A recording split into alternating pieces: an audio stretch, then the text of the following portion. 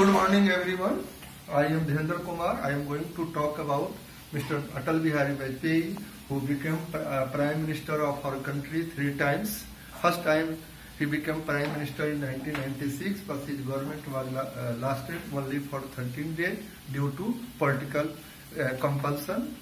Next time he became Prime Minister and his government lasted only for one year and again he became prime minister and his government lasted for a full uh, full term. He was born a very uh, uh, middle class family in, Gwal in Gwalior and his final education was also lasted in uh, uh, in Kanpur.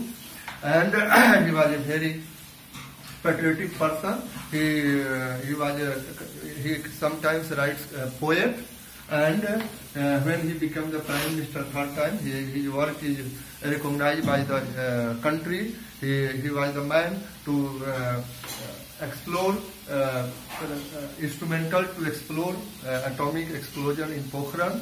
He, and he, he made Abdul Kalam Azad become president during his government. He was uh, uh, his birthday is celebrated as a good governance day and he died uh, this year on 16th August. Uh, each and every uh, citizen paid tribute uh, to Atal Bihari Vajpayee. He was a great statesman and he, run, he was the first prime minister to run the coalition government uh, for the full term. Thank you.